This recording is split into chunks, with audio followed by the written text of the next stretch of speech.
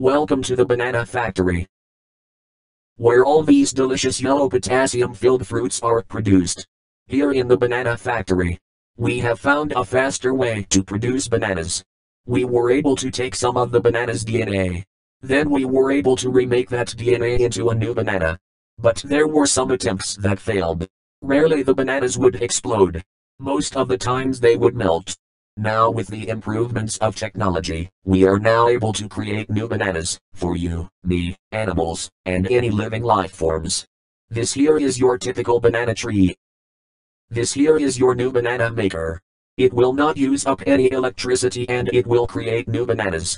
The factory ensures safety for the monkeys when handling elements, especially the element grinder. This here is the element grinder. A machine that is used to grind the elements, creating them to become one. We discovered that the monkeys were able to comprehend human language, and perform tasks for them. Monkeys began to evolve into more intelligent creatures, they knew how to open a machine, speak English and Spanish, and much more. Whether you're human or monkey, we welcome you to the banana factory. We thank you fellow viewer for watching the welcome video. We will soon proceed to the tutorial tomorrow. You may explore the factory's premises. Until then, farewell.